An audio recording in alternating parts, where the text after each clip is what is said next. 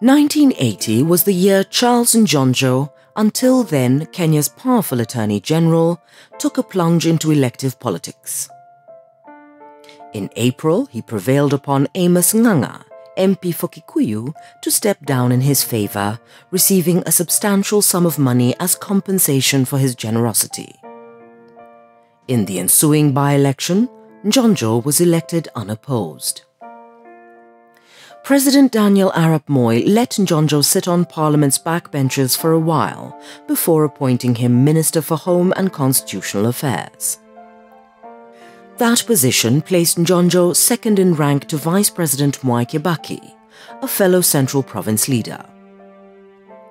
To replace Njonjo as Attorney General, Moi appointed James Karugu, another Central Province man who as Deputy Public Prosecutor had been Njonjo's deputy for many years. As if to balance the ethnic equation in his government, Moi brought into his cabinet Peter Oloo Aringo, MP for Alego in Nyanza Province, as Minister for Information.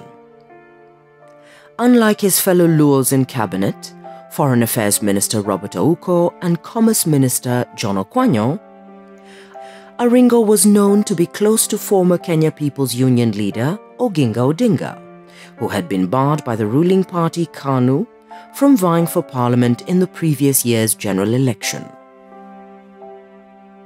Aringo's appointment was seen as a sign that Moi wanted to find an accommodation with Odinga's vast following in Luoland.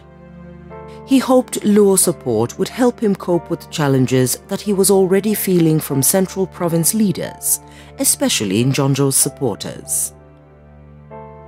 Moi had already appointed Odinga chairman of the Cotton Linton Seed Marketing Board as part of an orchestration of gradual steps intended to eventually lead to Odinga's re-entering parliament. In the meantime, Moi had to attend to a number of important international issues. He played host to Pope John Paul II, who visited Kenya in May as part of an East African tour that included Uganda, where his host was the new president, Godfrey Binaisa. 1980 was the year Kisumu Molasses Plant was set up by the Madhvani Group to produce vehicle fuel from molasses collected from nearby sugar factories. It was the year that Maendeleo House, the headquarters of the grassroots women's organization, Maendeleo ya Wanawake, was officially opened by Moi. And it was also the year that a woman, Dr. Micere Mugo, was first elected Dean in the Faculty of Arts of the University of Nairobi.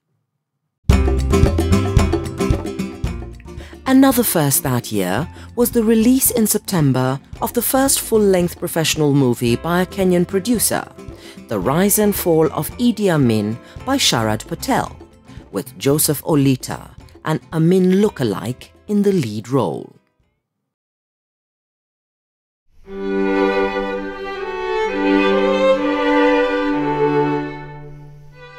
Nineteen eighty was a year in which a number of people died from violent causes. It started with the murder in January of internationally famous conservationist Joy Adamson in Meru National Park. On New Year's Eve, a bomb exploded at the Norfolk Hotel in Nairobi, killing 20 people and injuring more than 80, many of them tourists.